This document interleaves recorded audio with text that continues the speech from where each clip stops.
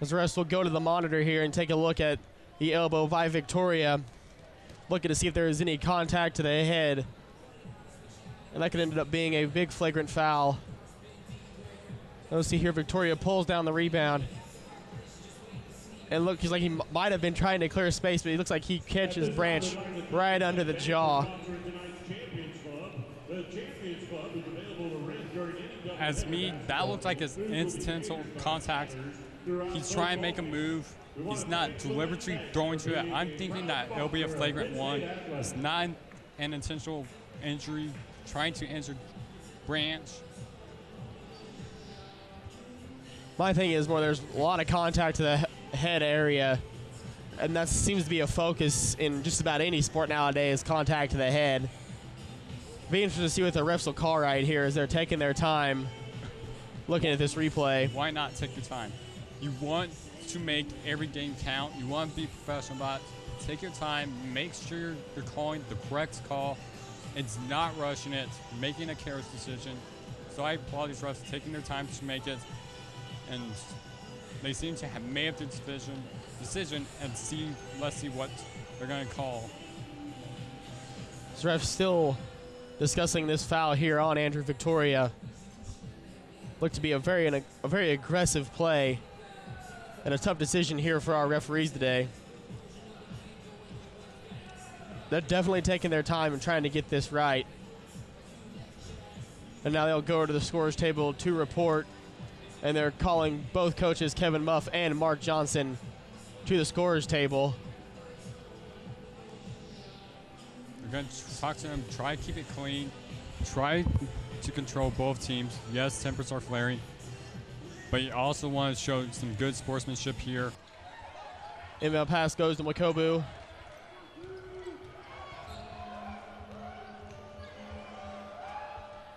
Real still sticking around in that zone defense. Free up by Nicholson. Short rebound comes right back to him. Good pass, extra pass by Makobu, and Tadlock buries the three. That's the third three by Fort Hays. They have shot 11 of them, but you're getting the offensive rebounds and being able to get the open space they need to shoot those threes. You have to close out on those threes. Good finish there by Moikobu after the steal as the Tigers push their lead up to 15. Impressive steal right there by Choki Moikobu. The girls looking for something here on this offensive possession to try to get back into this game. Hook shot by Gregory, no good. Rebound by Devon Branch. Fighting through the contact, and he will go to the line for two shots. Devon Branch does a great job at drawing contact in the paint and being able to capitalize on opportunities like this.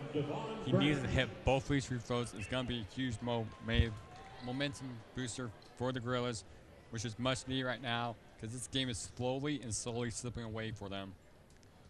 First free throw falls for Devon Branch as Sam Pugh will check back into the game for Connor Kerr. That'll be the, that was the first foul on Jake Stop on the seventh of the half.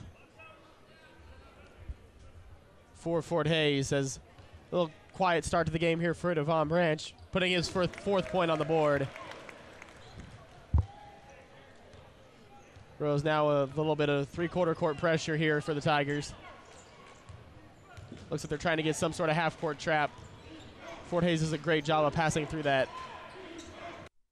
Welcome back into John Lance Arena. Sam Pugh is still down on the Fort Hays end of the floor. It's, we'll see the replay now, see if we can see what happened to Sam Pugh. Looks like took an incidental elbow as Craig Nicholson went up for that layup. Not a whole lot you can do about that. Just incidental contact by Nicholson as he went up for the, his layup. Pugh still down, being tended to by his head coach Kevin Muff. What you also saw at that in play is that Citizen Hayes start backing up onto him, and there could be some contact with the head there that is causing more stress to him. Pugh is back up and walking off the court.